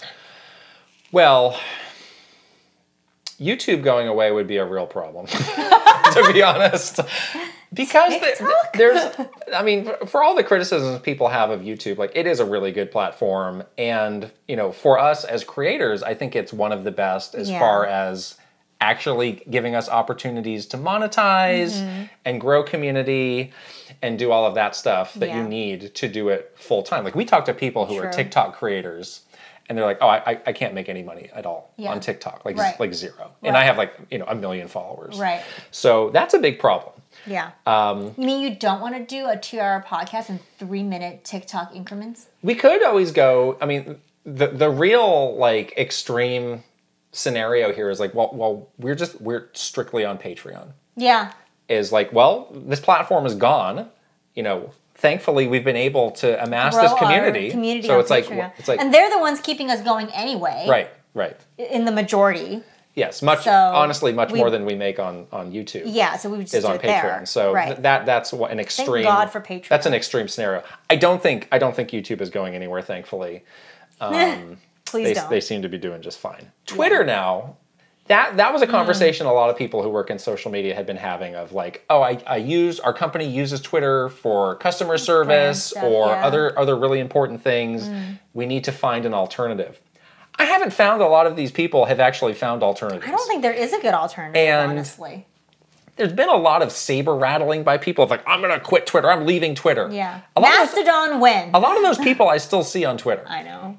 I think a lot of people who use Twitter need to be honest and admit they're addicted to like physically addicted to using Twitter Yeah. and are not like barring something truly, truly extreme, they're not actually gonna leave. They don't. I don't think they can. Right. I think that the, the hold on them is so strong at this point. I don't know what they would do without without it. it's one of those platforms where it's like, well, I can do everything that Twitter offers in different ways on other platforms, but there's not really one that does it all in that combination Yeah. Uh, and, and functions the way that Twitter does. yeah. So and also, I think the other thing is people expect a certain type of content on Twitter, and it's frankly the easiest type of content to yeah, make. right, right, right. So So, I, I, mean, but if Twitter did go away, like I'd see that would be not as bad. maybe as less of an issue. I think away. people Yeah. would, would congregate around. Probably there would be sort of a shakeout period of like, well, what is the next thing going to be? Mm-hmm. We're, we're all across these three or four things before they consolidate on something. Yeah. I think that would be less of a disaster. Right, right. Yeah. Slowbro has the next question. You've previously mentioned how important it was for you to pronounce Pokemon, Pokemon, Pokemon. correctly. Were there any other character or franchise names whose pronunciation was so strictly monitored? Were there any names that you learned you had been pronouncing wrong once you started working at Nintendo? Some of my worst offenses are Samus, Ryu, and Melee. Uh, Ry- Ryu, Ryu, I definitely called Ryu for a long time. Yeah, Ryu's. Yeah, that one's a, a hard one. I think for. I also used to pronounce the this is and this is like just dumb on my part. The company Tecmo, I used to call them oh. Temco. Oh, that you had like a you transpose the letters. But it's spelled T E C M O, so it's very obvious Tecmo, Tecmo. yeah. But I call it Temco. The other thing is we did we did have people that were in the East Coast or like working at the Nintendo New York store that would say Mario or people in Canada would say Mario instead of Mario. I have seen like people correct them even though it's just like an accent thing I think correct them to say like, oh, it's But that's a, I mean, in- within the company, that's a very strict, like, do not call him Ma- Mario. right. But some people do it though because it's just the way that they hear it around them in the East Coast. So th- I have heard people literally get corrected in meetings. Yeah. That, that have said that and say like, no, it's Mario. Um. I want to, we are appearing on another channel soon about this very topic. Uh, the channel is the Bread. I'm getting the, the name of this right. Bread, Bread, the Bread Pi- the Bread Pirate, Oh boy, the bread pirate. who reached out to us to ask about the pronunciation of Bokoblin. That Which- was an enlightening I guess among the Zelda community is a somewhat controversial topic. How? Uh, we have the answer. We answered that and a few other pronunciation questions, um, which all seem very logical to us Yeah. and are the true ways. Don't don't question Don't this. question it. This That is is the actual 100% Nintendo ways. fact. But Yeah. uh, if you're curious about that, we'll we'll let you know when that goes live. Yeah, yeah, yeah. Any others that you were getting wrong? Um, Wiimote. That's not a wrong Well, that's not, that's something completely That- different. Don't say that that's fan fans made that word up. yeah. Um, I got wrist slapped on that once. Oh. Um, but I just started the company, so I didn't know. What else? Um, no, I I'm good. Like I'm good at this. I can pronounce a thing or two. Okay. Can't spell to save my life. Well, but I I was just gonna say, I'm surprised based on your it. spelling. Tyler Geis. Phonetically. As the next question. Hi guys, there used to be a recurring segment on Conan called Clueless Gamer, where Conan O'Brien would attempt to play and often ridicule new and upcoming games. This included Mario Kart 8, and they even got early access to Super Smash Bros. for Wii U. I'm curious to know how Nintendo agreed to this, since it seems like they wouldn't want to hand over their product to someone who would present the game in a comical or negative connotation. Was this just another attempt to reach audiences during the Wii U era? Thanks. Well, I was there for this Wii U one. Yeah, Who did the Mario Kart 8 one? Was that one of us? I think it was me. I don't remember that one. Yeah, I didn't. I think one of us did the Uh, uh, Smash Brothers one. You did the Smash one. Tyler, I was just as surprised as you were. Uh, we'll, we'll talk about this more in depth in a future story time, but that was a request that came through in like, I think it's like a week before E3. It was really crazy. and yeah. I was like, well, it's a pretty big outlet, so I need I need to put it through the process. And of course I, got can't- approved. I can't just veto this, but but but they'll absolutely say no. And we sent it through to Japan. It went to Mr. Sakurai. He was like, yeah, let's do it. I was like, oh my god, I can't deal with this the now. Worst So I had to go to. LA like Yeah. days before E3 to do this nonsense with Conan O'Brien. Yeah, yeah. Clueless gamer, played People- Smash Brothers. The, the the key takeaway here is that anybody loves a, a good old broadcast opportunity. Watch him oogle Zero Suit Samus like Oh, he's he writing did. a French tweet or He something. did. He was. He was gonna draw. He was gonna draw her like one of his French girls. I need to He get out of here. But you that can't. yeah, we'll talk about that more in the future. Yeah. Interesting. Uh, that was an interesting day. Last question is from Ven. In your E3 poll on Patreon, one of the options is E3 is still viable if they make some key changes. If you believe this, what changes do you think needs to be made? Also, do you think Jeff Keighley did what was needed to make these events meet today's standards for gaming events rather than how they were in years past, as seen here? And um, Jeff has a tweet that Jeff's always got the tweets ready Drafts. he's kind of talking about you know how much E3 meant to him and how he's kind of got this new vision for these events going forward. Yeah. So first question, what could be done to make E3 viable? I think the idea that you can only get sort of that experience if you're there physically present um, at the show is a dated concept now. Like now that there's been such a um, you know such such an appetite from people and also just like expectation of people um, to get these inf- get the same information like digitally whether it's through a nintendo direct or an xbox showcase or whatever um, like having it be like only if you're there can you experience the magic of these games and experience e3 is like totally not viable and also very expensive for companies when they realize they can have the same impact digitally um, I think that's the first like big change that needs to needs to be made. Like if there is some sort of you know time frame that everyone is expected to do a thing, like they need to put the digital like first and foremost versus the physical. One of the things that I felt things started to fall apart when they were was when they started to focus on let's bring consumers into E3. Because that didn't work well and Split the focus. I think it became a really hard thing for them to nail of making this show for consumers and for people in the industry. I, I don't I don't I don't think this would be like a silver bullet, but if they went back and said this is now strictly for the industry only, there would be some niche that it would be filling. Because I mean, consumer events like we got plenty of those. Mm-hmm. Yeah. we got PAXs, we got Comic Con. Comic Con, we got Anime yeah. Expo, we got everything. Yeah. WonderCon, we got all this stuff. But there is still no, I mean, there's GDC, which has kind of a different sort of purpose. Mm-hmm. There's DICE, which is very small. CES, is that still a thing? Well, that's like all of electronics, but it was like, this is strictly for the gaming industry to come and like conduct business. Uh, and press could still come. Um, I don't, I don't know if that would solve every problem, but it might be a step in the right direction of again just refocusing on you know what E3 did well, what is the purpose, what are people going to get something out of this, and, and what is the need that need that is not being met. Yeah. I don't know. Jeff Keighley now. Jeff two. he might know. So we went to the Summer Game Fest event last year, Yeah. which was a lot of fun, very cool. Hopefully we get invited again. Hint, hint. That was not E3. that was an apples and oranges situation. That was a very that was a comparatively quite smaller event smaller, than E E3. very focused. Um, it was a good event, uh, but it definitely doesn't have like I think E3 has been sort of known for very specific things. It's the place where everyone goes one time a year, one week a year to get all of your announcements. And you make all your announcements and you share all of your big news for the rest of the year with everybody. Like that that was not sort of the focus of Summer Game Fest. Um, yeah, so I'm, I'm really interested to see on the event side. So I think we know that his stream, the Summer Game Fest stream, Yeah. is just like, you know, the big Jeff Keighley announcement blowout. Right.